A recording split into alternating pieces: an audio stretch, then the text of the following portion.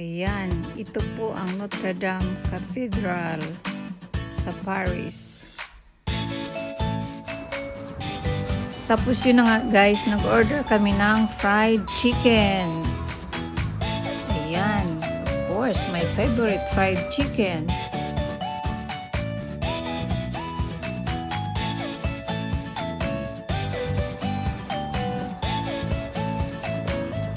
Fried chicken na may kasamang maraming french fries. Of course, gusto ko mag-order ng rice. Oh, sabi ko sa waiter, can I have some rice please? Ang sagot niya is, no, we don't have rice here. Oh, masarap ang fried chicken sa rice, di ba?